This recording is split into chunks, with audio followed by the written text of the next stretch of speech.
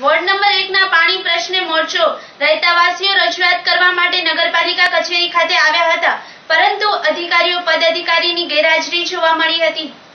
ભુજના ward number એકમાં આવેલ સંજોગનગરના કેટલાક વિસ્તારમાં પીવાના પાણીનો પ્રશ્ન દિન પ્રતિદિન વિકટ બનતો જાય છે.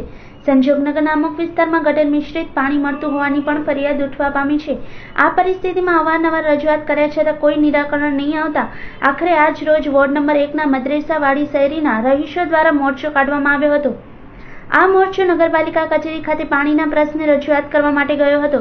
પરંતુ આજે સવારે નગરપાલિકા કચેરીમાં પ્રમુખ, ઉપપ્રમુખ, કારોબારી ચેરમેન કે ચીફ ઓફિસર નહીં હોવાના કારણે વોર્ડ નંબર એકના રહીશો પાણી પ્રશ્ને નગરપાલિકામાં રજૂઆત કરવામાં નિષ્ફળ નીવડ્યા હતા. પરિણામે રજૂઆત કરવા માટે આવેલા લોકો ત્રાહિમામ પોકારી ઉઠ્યા હતા.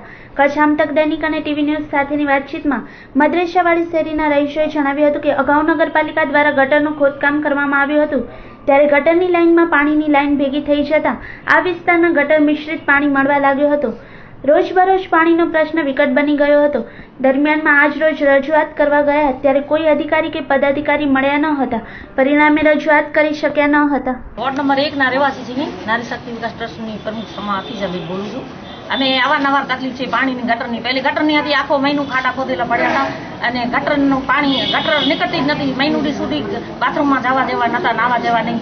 અને આ ગંદકી ખેલા ફેલાણી રોગચાળો ફાટ્યો હતો ઝાડા છોકરાને તાવ ને બાજુમાં છે બાલ મંદિર તો બાલ મંદિર બેનું વટાતી હતી તો એ ગારામાંથી કિચડમાંથી લસકી જતી હતી ખાડામાં પડી જતી હતી. નમાજી નમાજ પડવા જઈ ન શકી બધું પાણીની હવે પાણીની સમસ્યા છે આઠ પંદર દિવસ થયા. ગટરવાળો પાણી આવે છે. કીચડ ગણસર કીચડ જ આવે છે. એટલે અમને એ બધું તકલીફ છે અમે અવારનવાર રજૂઆત કરીએ છીએ. કાસમભાઈને કાસમભાઈ અત્યારે માણસોને લગાડ્યા છે પણ ફોલ્ટ મળતો નથી એમ કે છે. ખાડા પંદર પંદર આઠ આઠ દિવસથી ખુલ્લા પડ્યા હોય છે. અમે રસ્તો છે છોડો અમારો શેરી ગલી. એટલે અમે અવર જવર નથી કરી શકતા. તાત્કાલિક કામ થતું નથી. ટેન્કર મોકલતા નથી પાણીનું. કે છે કે શેરીમાં આવે નહીં પાણી.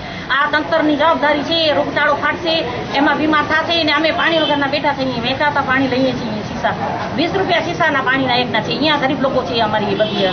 અમે રજૂઆત અહીંયા નગરપાલિકામાં કેટલી વાર કર્યા છે? મોરચા લઈને આવ્યા છીએ બહેનો બધી. પોતે છોકરા મૂકીને આવે રસોઈનો ટાઈમ હોય બધા સંભાળીને કામ ને બધા આવી ત્યારે ઓફિસર મળે નહીં તાળા લાગેલા હોય. ચેરમેન સાહેબને વીડિયો ઉતારીને બતાવ્યો ફોટા બતાવ્યા. છતાંય કામ નથી થયું હજી સુધી.